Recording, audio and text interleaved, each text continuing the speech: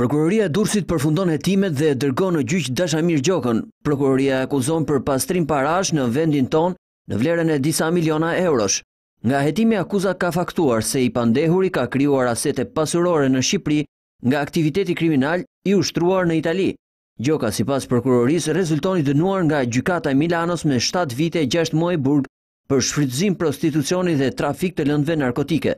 Prokuroria e Durrësit konstaton se ai ka krijuar në Shijak kompleksin Gjoka si dhe një godinë shërbimi dykatëshe. Në dosje hetuesit kanë sjellë si prova edhe informacionet e mbërritura nga pala italiane. Sipas këtyre informacioneve, Gjoka ka siguruar shuma të konsiderueshme nga aktiviteti kriminal i kryer gjatë viteve dy mijë e dy-dy mijë e tre. Për të justifikuar pasuritë, Prokuroria thotë se Dashamir Gjoka ka përdorur si mbulesë edhe kreditë në banka.